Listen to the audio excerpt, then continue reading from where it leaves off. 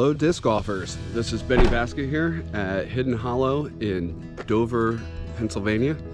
Um, this is a private 18 hole golf course on um, private land. So it doesn't offer all the amenities that you would have in a uh, regular golf course on um, or in a park.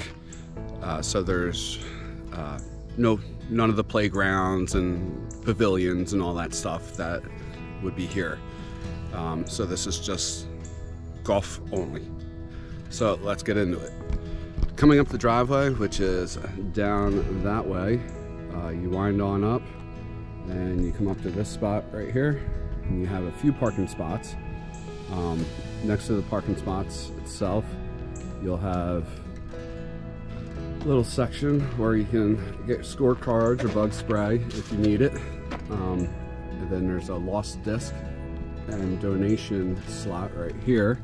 Um, so the owner takes care of that. Call, call the individual whose name's on the disc and make sure it gets to the right place. Now donations are not mandatory, but I guarantee once you play this course, um, you'll change your mind and want to offer something. Uh, I've played this course already. Uh, I absolutely love it. It is, again, 18 hole golf course. Three of the holes are out in the open a little bit, so you can kind of rip them a little bit. Uh, but mainly everything else is in the woods. Uh, mainly technical shots, but it's still very beginner friendly and um, I guess the only thing we could do now is just get into it. So here we go.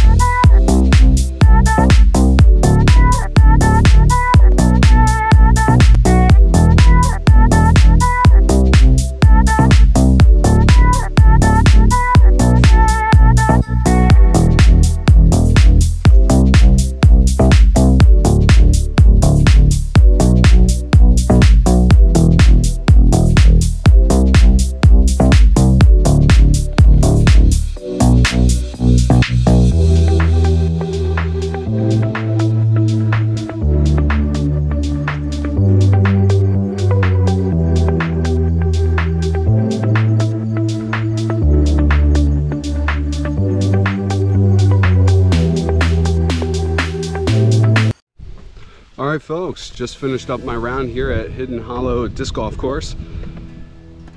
Uh, what an amazing course. Um, again, this is a private course, and for someone to just take raw land and just say, hey, you know, I'm gonna put a disc golf course in, and to have it come out the way it has is absolutely amazing. Um, just the attention to detail to all the um, different kinds of players that could possibly come out and play this course. It's a little bit of everything for everyone. Um, I'm gonna add a bunch of pictures in while I'm talking here, but all the steps that were added in, and there's bridges over every single waterway. Um, are um, OB lines that make each hole a little bit harder than what it really is, but because of the OB, it just adds that little extra oomph to it. It's, it's absolutely amazing uh, what has been done here. Uh, the owner and his volunteer help have done an amazing, outstanding job here. Um, I, I absolutely love it. All right, so all the um, holes right now are par three, which is fine by me. Um, there are some tricky shots that need to be done.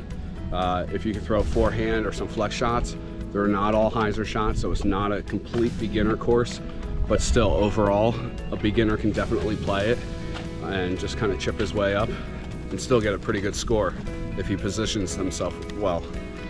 Um, long distance for these, there's a few that have some long distance, but uh, it's not really uh, a rip it and or grip it and rip it type of course. Uh, again, there's a lot of uh, uh, tricky, tricky shots that you need to be able to throw, but still, you can just throw them with a simple hyzer or straight shot and, and get to the basket no problem. Um, so that's nice. As far as hazards and bushes, well, obviously it's through the woods, so you're gonna have some. Um, some of the hazards are the OB lines. There is a creek running through the back there, and you know you're gonna be OB if you go into the creek on most areas, actually all areas. Um, but you're not gonna lose your disc going into the water. Uh, there are some spots where you might get into some thicker weeds, but you're still always gonna find your stuff. If you do happen to go into some water, there is uh, usually a, uh, on some of the holes, there's a uh, long pipe with a hook on it so you can grab your stuff if you can't reach it. So again, the, the owner uh, and designer of the course has thought of everything um, that needs to be taken care of. There is one other um, hazard that, or OB hazard, whatever, uh, that I want to discuss is on hole 17 um, there is a fenced area which is right down yonder. Um, you see the red barn and the fence around it. Do not enter that fenced area. That is uh, private property. That's not this property. Uh, it's the neighbor's property. They have horses in the barn that get very skittish and it could come out and attack you and hurt you and it would not be good. So there is a sign hanging on uh, the fence that if your disc goes in there, please call the number. Um, someone will get it for you. Again, I repeat, do not go into the fenced area. There is also a um, pole with a hook on it, so hopefully you can reach it, but if you can't, too bad, your disc is there until someone can get it but the number's there. Um, yeah, it's, it's a little hassle because you can see the disc, it's right there, you want to get it. But um, for safety purposes, just do not go in the fenced area. Um, it, it, it, would be nice if you didn't. Um, so that's all I got to say about that. Uh, let's see, elevation change. There is some elevation change, um, but again, you'll notice when you're going through here, that with the attention to detail on everything else, there are steps being built. Um, there are ropes to hold on to uh, where the steps aren't there yet. Um, so there is a lot of um, detail to safety on this course. Uh, of course, through the fairway and actually on the hole itself. You can't really put steps to, to go up and down the elevation, so you just kind of have to play it, but it's still safe and, and walkable, and it's not really that bad. So that's that. Um, signage, every single hole, every basket, there are arrows that will direct you to the next uh, tee pad. I did not use my app to play this course. I just wanted to see how easy it was to navigate and it's super simple. Um, as soon as you throw into the basket, you look down at the arrow, it says go right, you turn to the right, and bam, there's the next um, next tee pad. So it's very simple to, to navigate through. And if the tee pad isn't right there, then um, you could see the already walked path that's already worn in, and it, it's awesome. Um, and, and the, the, signage itself is accurate uh, from where the tee pad is to the basket, because some of the courses I play, um, the, the basket on the actual sign where the tee pad is it says is you throw to the left and you actually are supposed to throw to the right, but all this is accurate. Now the baskets themselves, they're all, uh, well they aren't all yellow, but there is at least a yellow band on all of them. There is also a red flag um, on the top of each of them, so you can see them very easily through the woods. The only one that is not yellow is hole one. It's a green basket, but it's got an orange flag and uh, it's still easy to find. Now this course, even though it has its um, elevation and it's through the woods and it is uh, some trick shots here and there that you, you need to be able to throw, I still say this is definitely a family place because it's small enough. Um, and, and it's just fun. It's a fun little course. This course I actually just played and I didn't do all too well. I want to play it again it, like it did not beat me up. I definitely want to play it again to um, better my score. So it, it's a course that you could play two, three times in a row and, and, and just, it's, it's fun to play. So you're not tired, you're not exhausted, you're not frustrated. You just want to keep playing over and over to try to better your score. So that, that, that's a good thing to have uh, in a course to be able to just have that want and desire to play it again. So it, this, I can't say it enough. This is an awesome course. Um, that's really all I have. Uh, yeah, I don't think I missed anything. So if you come out here, um, Hidden Hollow, come out for uh, enough time to play this course a few times because you're, you're definitely gonna um, want to keep playing it. If you are up in uh, the Pinchot State Park uh, playing those courses, come down here. Uh, if you're here and want to play this, go right up to Pinchot. It's only 10 minutes away, uh, so you can do both in one day. Uh, there's two courses up in Pinchot, so you can actually do three courses in one day. You're going to be tired, uh, but they have camping up there also, so you can do this course, go up there, play that course, and then come back down and play this course, and then go home. Either or. But you get to utilize three great courses in this little 10 minute area. Um, yeah, so again, this is a, a, must come and play, must enjoy this course. Uh, the owner did an amazing job.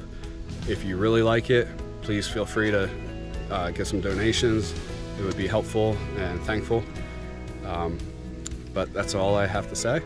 And if you like this comment or like this video, please give me a like. Uh, please subscribe to my channel so I can bring you more content and, uh, you know, bring this beginner stuff for everyone else out there. And uh, that's really all I got. So thanks for watching and I will see you soon.